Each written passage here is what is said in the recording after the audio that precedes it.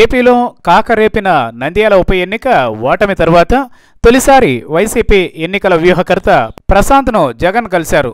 నంద్యాల ఉప ఎన్నికల్లో ఓటమి పాలు కావడానికి గల కారణాలను పీకే జగన్కు వివరించారు. నంద్యాల ఉప ఎన్నిక నోటిఫికేషన్ వచ్చేంత వరకు వైసీపీ అనుకూలంగానే ఉందని పార్టీ ఇమేజ్ కూడా బాగానే ఉందని అయితే నేతలు ఓట్లుగా మలుచుకోకపోవడం వల్లనే విఫలం చెందామని పోలింగ్ కేంద్రాల వారీగా నియోజకవర్గంలో ఉన్న నేతలు పెద్దగా పట్టించుకోకపోవడం వల్లనే ఓటమి పాలైనట్లు పీకే విశ్లేషించినట్లు సమాచారం.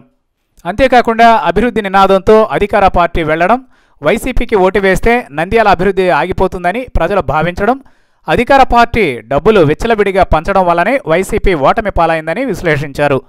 నంద్యాలలో మాదిరి జనరల్ ఎన్నికల్లో ఉండదని కూడా పీకే చెప్పినట్లు సమాచారం.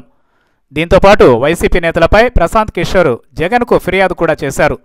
ఇక జగన్ పాదయాత్ర వచ్చే నెలలో ప్రారంభం కానున్న నేపథ్యంలో ప్రశాంత్ కిషోర్ అరవై రోజుల పాటు కార్యాచరణను వైసీపీ నేతల ముందుంచారు.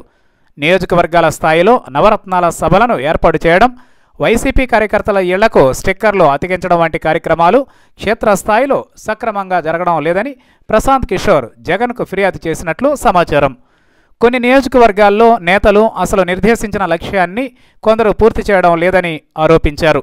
ఇలాగైతే వచ్చే ఎన్నికల్లో క్షేత్రస్థాయిలో పార్టీ బలపడడం కూడా కష్టమేనని చెప్పారు. పార్టీ కార్యక్రమాల పట్ల నిర్లక్ష్యంగా వ్యవహరిస్తున్న నేతల పేర్లతో కూడిన జాబితాను కూడా పీకే జగన్కు ఇచ్చారు. అయితే జగన్ తాను సంబంధిత నేతలతో మాట్లాడతానని పీకేకు చెప్పినట్లు సమాచారం. ఇప్పటికీ నవరత్నాల పేరుతో కొన్ని నియోజకవర్గాల్లో సభలను నిర్వహించకపోవడాన్ని జగన్ అసంతృప్తి వ్యక్తపరిచినట్లు సమాచారం. మొత్తం మీద నంద్యాల ఉప ఎన్నిక ఫలితం తర్వాత ప్రశాంత్ కిషోర్ తొలిసారి జగన్తో సమావేశం కావడంతో ఏపీ రాజకీయ వర్గాలలో హాట్ టాపిక్ అయింది.